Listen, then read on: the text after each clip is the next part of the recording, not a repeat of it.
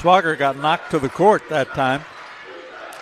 That's another three. That's a little strong, and the rebound pulled down by the Blue Devils.